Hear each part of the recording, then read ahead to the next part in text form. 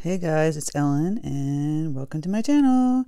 Today is Friday and on Friday it's Floral Friday. We're working on super easy watercolor practice. You know, super simple flowers. I'm using a lot of brushes today and my usual gouache and I'll show you how to take gouache and create these things as well. No need for a traceable, step by step creating daisies, buttercups, and some forget-me-nots, all in this composition. I talk about how I do this. It's super easy, super fun. Anyone can do this. If you have any questions, please leave in the comment section. Also, uh, don't forget to check out my Patreon. I have ad-free videos, traceables, uh, exclusive tutorials on Thursdays, and a live stream on the top tier. It's just a place people can go and support my channel, which I appreciate so much. Yep. Um, you can check it out right up here in a second. So, without further ado, let's get painting. Some fun daisies, buttercups, and forget-me-nots. Okay, guys, for this watercolor practice, I'm going to go over my supplies. I have a piece of uh, Arches 100% cotton cold pressed paper. This is 9 by 12. I taped down with Scotch Magic tape just on some thick cardboard to hold it in place. You don't have to do that. Um, paper towel here, water jars, the paints, I always have them in the description box and I talk about them as I use them. And brushes, I'm going to be using several brushes today. Just a wash down a color. I can use my flat wash one inch brush. Uh, I might play around with my 12 and, and my 10 Neptune series, even the Scrumbacker number 10 brush. Um, definitely using my this Filbert Princeton Velvet Touch series brush. It's a number 8 to make some daisies. And I might play around with this 3 inch flat wash brush. Just there's no name for this, and possibly my Princeton 8 long round. There's a lot of brushes just to play around with. This is what you gotta do. You play around with brushes that you have. If you don't have them, just play around with the brushes that you do have. So in the beginning, we're gonna do a nice quick little wash, a color wash. Um, it could be blue, it could be pink, but I'm gonna do blue. So I'm gonna take my ultramarine blue. I'm gonna water this down a little bit here. I might add a little Prussian blue to that. So I'm going to be watering blue here and then maybe add some gray tones to it. So if I add a little of this color, this is a color called neutral tint. It's kind of like a bluish gray. So I'm mixing a bunch of different blues. So you see I had Prussian blue, ultramarine blue, and this is neutral tint here.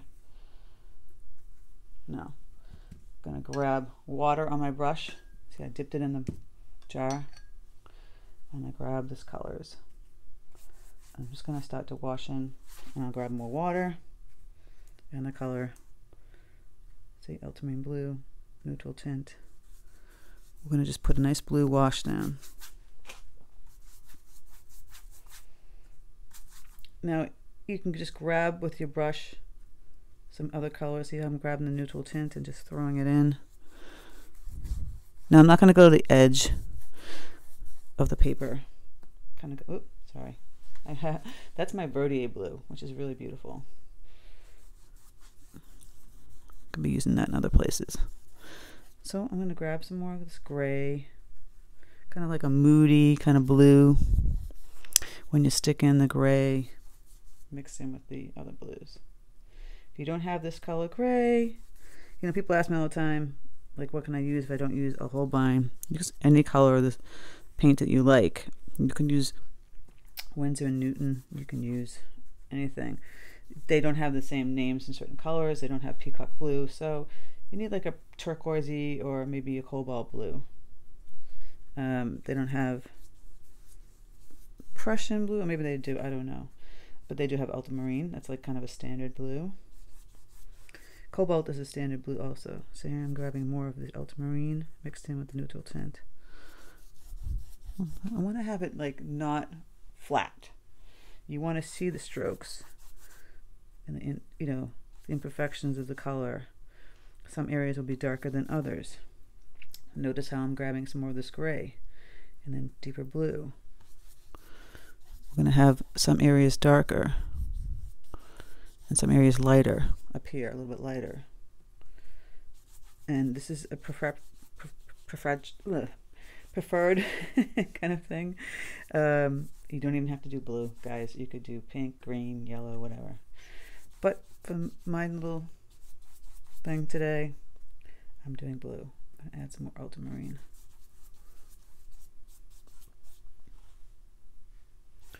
Just do a swath of color up here.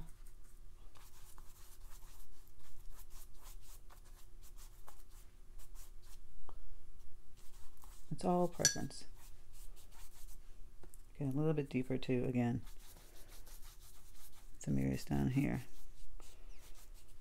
All right, so if you got your color in, if you feel like it's a little too dark, you can kind of remove some of the paint. I'll grab, clean my brush off, and I'll lift some of the paint up.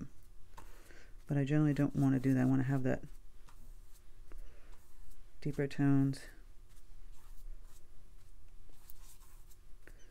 And most of it.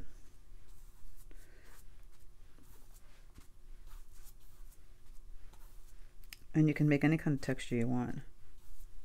You can grab a sea sponge and have a texture. All right, so I'm gonna let this dry and then we're gonna start painting on top of this. Let this dry, don't touch it. All right, now that that's dry, we're gonna go and mix up some greens. I already have a deep green mixed up here. I used some Prussian blue, some yellow, and uh, a little bit of burnt umber. I'm going to use my Princeton long round for this particular part. Uh, grab my yellow again, and I'll mix up some bright green too. Um, the peacock blue, like I said, it's a nice kind of like a turquoise blue. See how you can see that turquoise? So you can buy a turquoise. There's tons of uh, companies that make turquoise. And see the consistency is not super wet. You, you can, it rolls a little bit, but not fast. So that's how you can tell it's moving off the palette, but not as fast as if it was a lot of water in there. Gonna grab some more yellow.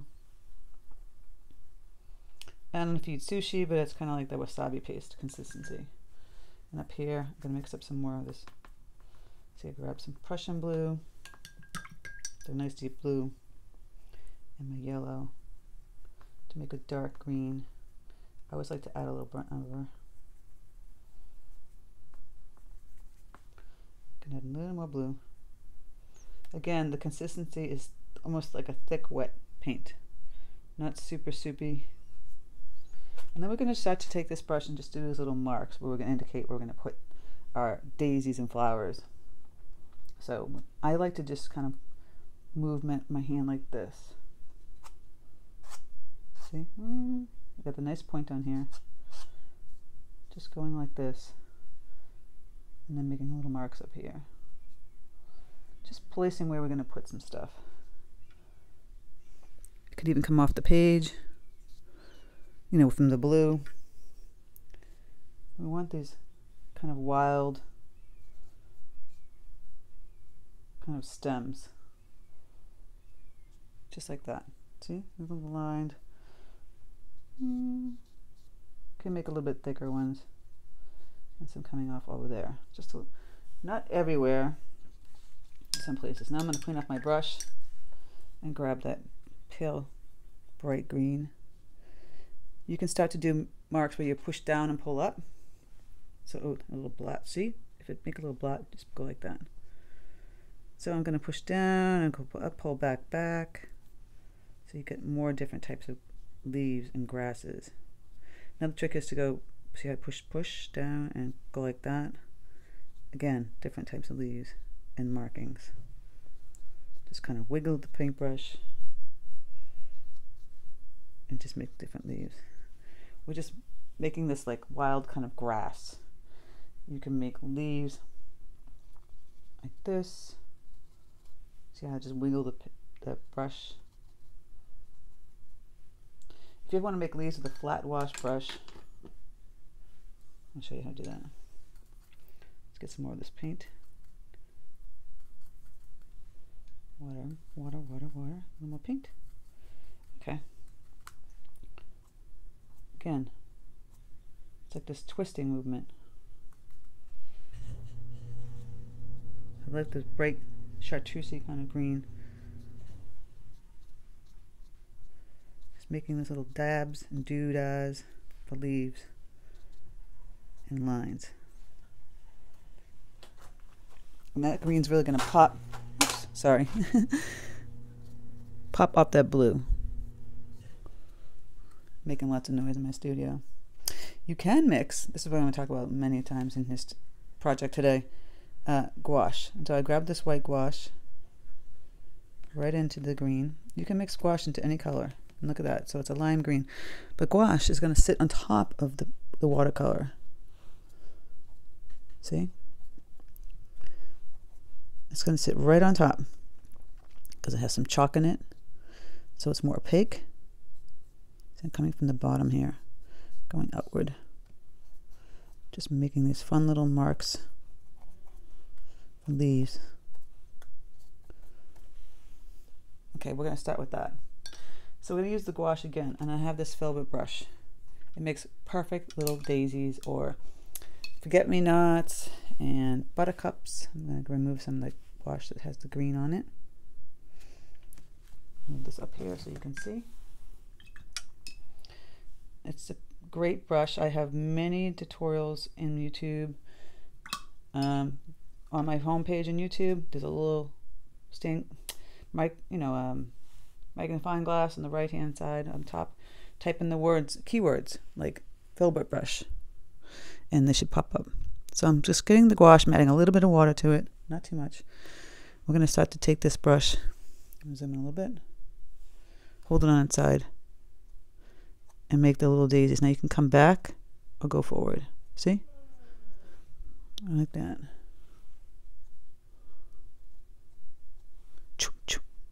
That's the movement. Simple daisies. And again, because it's gouache, it's going to lay right on top of this paper. Now we don't want totally open daisies and maybe want some bigger, longer petals. See? Just kind of going like this. And we're going to create these really pretty, simple, super easy See, just simple marks like that, and you're going in. That gouache is a little too thick. Just a little bit of water. Mine was like basically sticking right on there. And the darker the um, background we made, the more they'll stand out. You can use white acrylic ink too if you don't have gouache. Because some of my tutorials call for the acrylic ink, and so play around with that also. I can show you. I don't need the, I can grab the white acrylic ink. And it should do it.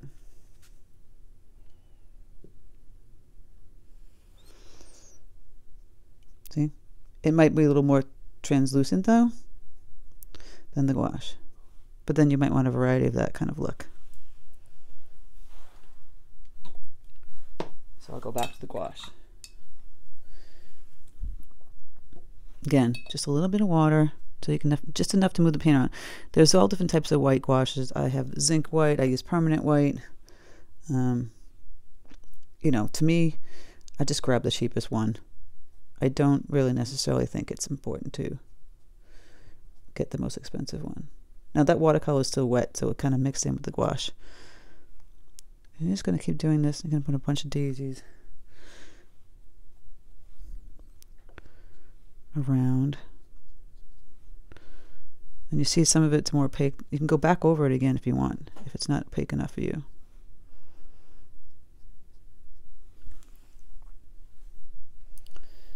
Maybe you want skinnier petals, so I'll grab my Princeton 8 long round.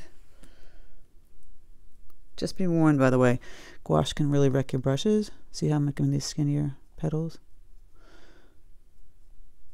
the filbert makes nice rounded petals and maybe don't want a rounded petal um, daisy. Maybe want a pointier one.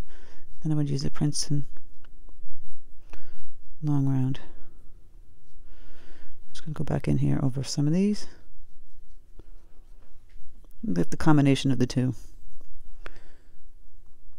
Sweet little daisies. Really kind of just loose And you could do some little half ones kind of falling down. See that little, you know, just they're bent. This one was just kind of like falling down daisy. Could do another falling down daisy. kind of here and maybe up here. Now that gouache dries pretty quickly, so you're going to have to keep adding a little bit of water.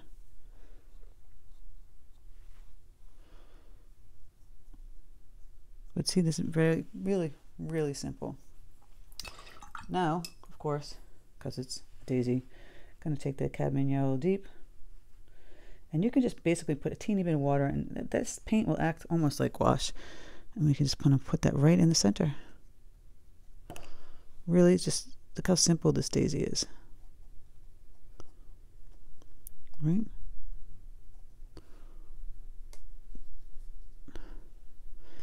Now you can make even yellow flowers. Put some buttercups in here. Really delicate, simple. I wouldn't use that for that brush. I would use the filbert for kind of like a buttercup looking flower. So if you want to have some pretty yellow buttercups. Just push down. Push down with the filbert. So you're going to go around and you have a buttercup. Could even add some white gouache to your yellow to really make it pop out. Again, maybe have it on the side like that. Put a few, you know, I wouldn't put them everywhere and then the center would be kind of yellow and that bright green. So we have buttercups and daisies. Grab some more white gouache, mix it in with the yellow. Just pushing down like a four or five petal flower. One, two, three, four, five. Put some of the petals on sideways. So I see I'll just kind of turn my brush you can mix in a little brilliant orange with that yellow just to change the color tone a little bit. And of course the center, I might put a little lime green in first and then go back over the yellow with the white gouache. See, add the white gouache to the yellow and then go right back in the center. Kind of like little doodad dots green and yellow. Go back and add your gouache, do that dots.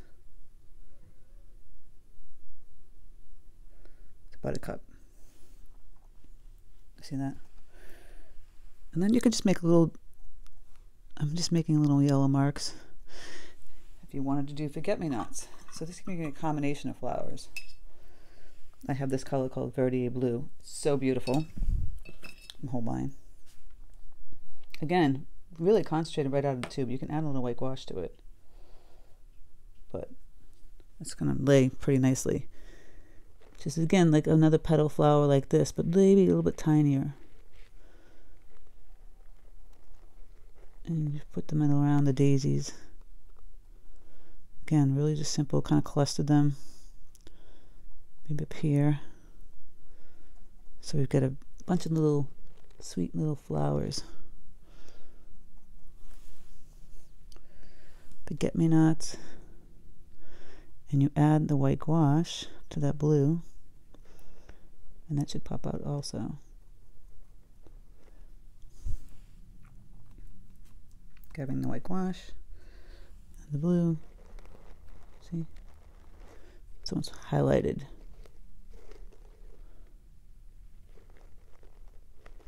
Get me nuts. We used to have a ton of these in my yard. And now they're not there anymore. It's kind of sad. See, just the, the, the lighter the color over here in the darker area, the more it's going to pop out. Just little sweet little petals. Four or five petals. One, two, three, four, five. So I'm holding the brush this way and then pushing it this way. And then the center of those would be yellow. So we've got that yellow mixed with the white gouache because it will really pop up. And it's a little wet still. You might have to wait till some of it dries before you can go on top with the yellow. Now at this point, you can go around and play around with adding in more leaves and whatnot. So I have some nice dark green up here. And I can go in here and just put in some filler in some nice leaves just to pop up these guys a little more. Can add that nice green. Mix it in. See, I'm just kind of really swooshing around color here. Take some of the burnt umber. Kind of put some of that in there. Some browns. You know, like in a in the little grasses wouldn't be one note green, one note yellow. Going back in and add some more leaves. Just see, I'm kind of clustering it all in one section though. You notice this? That's the composition that I've decided. You could do all the whole page, but that's how I want. You can add little veins to the, the leaves you made over here little marks coming out here. Bigger leaves. Some maybe bigger leaves clustered down the bottom. I'm going to add some more deeper colors. I added some neutral tint. Get it really dark just in that one little section. And it adds more interest to your painting. These are all the tricks on composition. So daisies. You could even, you know, really take some of this. We didn't splatter, but we should splatter because sometimes it's like a nice little element. I like to do everything in the kitchen sink. So I take the white acrylic ink, a little more translucent, and splatter some some of that. Just a little bit. Just a touch. Not much more than that. Um, you don't want to go crazy. You want a little bit, maybe splatter some of the green too. So I'll mix up some of this bright green again because that would be really pretty.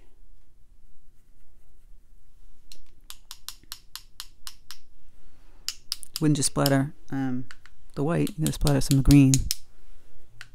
Especially up in here. Grab some more yellow. And then you can splatter the deeper green too.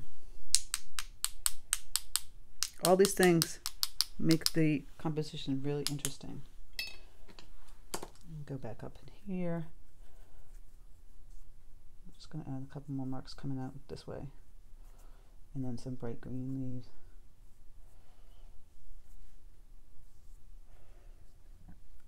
All the fun stuff. Maybe a different color green, maybe this medium green which we don't have really. More of a Kelly kind of green. I can put over in here. Again, interest. So I have multiple greens, different flowers, and that's that. Okay, you see me kind of doing this, but you get the idea. And that's that. So you might go back in when these kind of colors dry and add, you know, your yellow center. The blue's still kind of wet. Go in and highlight that on the forget-me-nots. Just fill in. And then with the buttercup, highlight just some bright yellow in here using the gouache. And those will pop out too. And then you can add some floating, you know, I might add some floating uh, daisies up top. Grab some my gouache. I lost my gouache. Kind of messy. I like to paint messy though. I don't know if you've noticed that. Oh, see? There's green on that gouache. Put some other daisies up here. I feel like I need something up in the left-hand corner. So I'll put another daisy up there. So that's a little more wild. And of course the yellow center. And that's that, guys. So play around with the brushes. We used quite a few today. Play around with the paints. Do a wash in the background. It could be green, right? All the green like you're in the grass. And then you're seeing all these really fun and fun flowers. Super simple, super easy. A lot of movement, splattering. This is what you do for watercolor practice. This is how you create. Maybe you didn't have it on the left hand side. Maybe you had it on the right hand side. Maybe you had it coming down from the top. You know, maybe you had it both coming this way. So, play.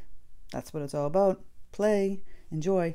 And all you need in the other tool for your arsenal is a tube of gouache to mix. You can mix them in all your colors. And you can have this highlighted kind of scenario. So that's the beauty of it. I like to create great compositions with it. And, um, you know, if you're interested in some more gouache videos, I can do more of that. I've been painting gouache for a long time. I would say 20 years. so it's a great medium. It's You can use it like watercolor. So it actually has versatile, more, vers more, more versatility than watercolor does. Because you can water it down and it turns very translucent like watercolor. And then you don't water it down and it's opaque. So you can play around like things like this you can actually paint a really dark background and then put the gouache on top. So you can't do that with watercolor. Anyway, I'm rambling. Thank you so much for stopping by. Have fun, practice, paint, practice, practice, practice. Take care, guys. Have a great weekend, and I'll speak to you soon.